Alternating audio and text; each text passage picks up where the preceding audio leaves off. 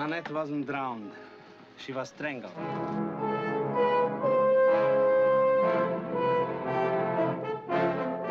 We could have a wonderful time in Paris, Henri.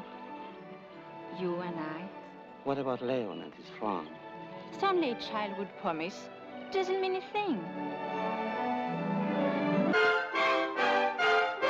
If you marry her, I'll try to win her back from you. Wherever you go, I'll be there, making love to her. One day, I'll win. Leon couldn't have killed himself. It was murder.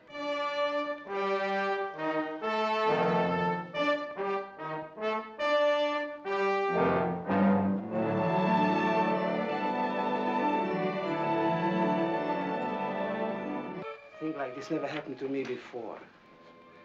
I've always been able to outguess the murderer.